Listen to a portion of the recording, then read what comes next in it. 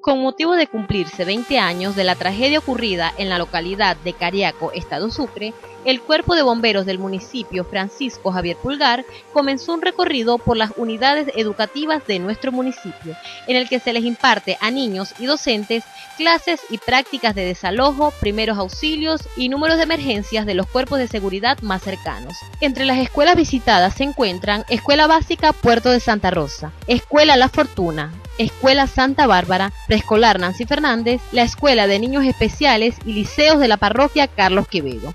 Esta actividad se estará impartiendo en el resto de las unidades educativas durante el mes de julio. Entonces, ¿nosotros qué vamos a hacer hoy? Nos vamos a preparar y a conocer las prevenciones ante un terremoto.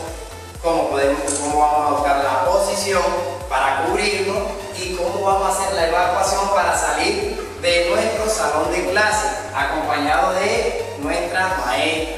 Desde el municipio Francisco Javier Pulgar, para NT Noticias, reportó Jessica Cordero.